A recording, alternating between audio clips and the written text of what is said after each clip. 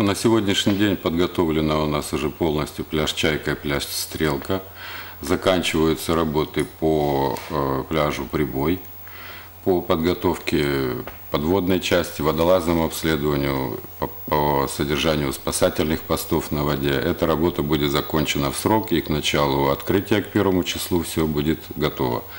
Единственное, возникает э, проблема с обследованием водолазным в зоне отдыха намыв. В связи с тем, что стоимость одного э, квадратного метра этого водолазного обследования стоит больше э, 5 гривен, а обслуживать приходится акваторию не меньше, чем 300 метров на 50 метров в глубину, то есть это порядка 15 тысяч квадратных метров, то стоимость э, очень значительная этих работ, и э, предприниматели намыва пока не в состоянии провести полноценное это водолазное обследование по тем объемам, на которые э, ставится задача для спасательного поста, то есть в полном объеме. Мы сейчас рассматриваем вопрос уменьшить зону обследования и провести дополнительное за счет, э, скажем так, спонсорской помощи наших аварийно-спасательных служб, водолазов города Николаева, водолазных клубов, э, обследование тех зон, где у нас купаются люди. То есть порядка трех километров береговой зоны намыв подлежит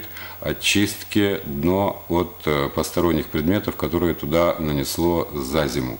Каждый год эта работа проводится, думаю, что мы ее сделаем и в этом году. Но на сегодняшний момент на э, зоне отдыха намыв к водолазному обследованию еще не приступали. Дослідження лабораторні річкової води проводить державна установа Миколаївський обласний лабораторний центр.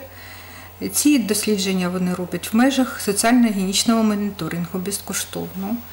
І Дослідження, які не відповідають нормативам, е, згідно чинного регламенту, на- надаються до нашої служби е, з цілею розробки заходів е, на місцевому рівні. Ми повідомляємо Миколаївську міську раду і сумісно розробляємо заходи щодо заборони купання, встановлення щитів е, на пляжах. Ви ж розумієте, що річкову воду не скипятиш, не очистиш. Е, Це антропогенне забруднення річок, е, велика діяльність по берегам. Тому забруднення з нашою великою Скіди. температурою да, до- до- доволі таки велике. І е, м, 2018-2017 роки тому підтвердження.